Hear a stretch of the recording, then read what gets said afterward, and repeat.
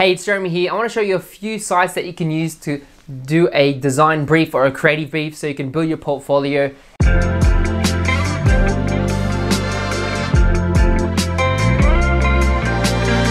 And it's so crucial, like to be honest, if you don't have a portfolio, then how can you get work? How can you get hired for a job? Like it's crucial to have a portfolio. So a lot of people struggle to come up with an idea and a lot of people find it easier to have a framework or a structure or a, or a place where they can actually have a brief and practice. So one site is um, briefbox.me. You can check it out. They have some free briefs. If you sign up, you get six free briefs um, that you can use. The pricing for that is, if you upgrade, is like 10 bucks a month and you get like all these pro briefs and you can see um, heaps of different submissions and it has everything laid out for you. So it makes it really easy to do a concept project. And another site is called fakeclients.com.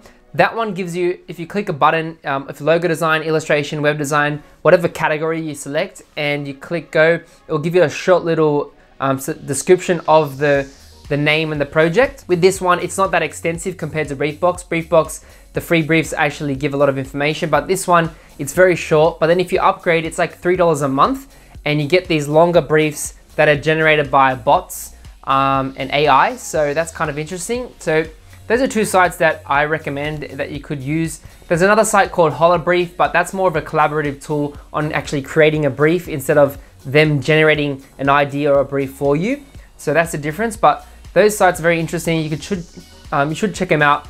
But an alternative is actually creating your own brief. And I'm gonna give you four tips on how to actually, you know, the four key factors you should have in, in a brief if you're gonna start one. The number one is um, the description of the company. So you wanna know the company name, you know, what they do, what services or products they provide, the general um, essence of the brands, um, where they're located, all that stuff. And if you have that basic knowledge, it doesn't have to be really extensive, but just write, you wanna write short paragraphs for each of these main points, you know, maybe four lines, so you keep it short and don't overwhelm yourself um, because, you know, I'm sure you want to get stuck into the design. You don't want to focus too much on writing the brief, but it actually will develop your writing skills as well if you practice this. Number two is the problem. So what's the company's problem? For example, it could be, be that they're going into a new market and their branding and lo or logo identity needs to reflect that new market. Or maybe they're having a change of company structure. Maybe they're downsizing, so they don't want to look like a big agency or a big company. Maybe they want to look like a more boutique um, company. So they need a, a new branding. So think of the problem. What problem are you solving? Maybe it's a you're doing like a website design brief and maybe they're not converting enough customers. So that's one of the problems. So like how can we create a design that's going to convert more people to buy their products?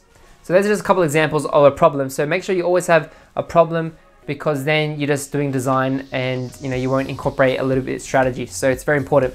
Number three is the, is the deliverables. What are you delivering on? Is it just a logo?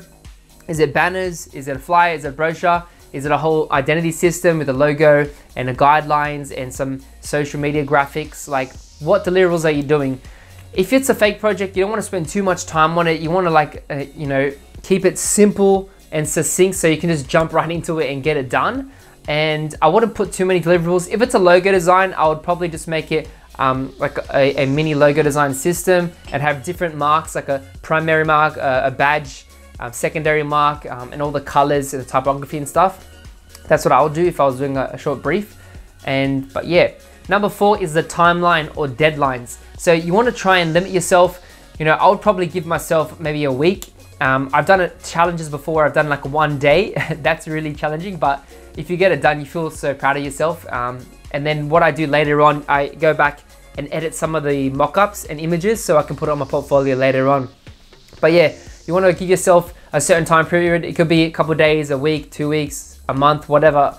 Depends on the how big you did your brief, but you know, once again, keep it simple. But yeah, you want to have a clear timeline and a deadline where you're going to finish the project and that's it.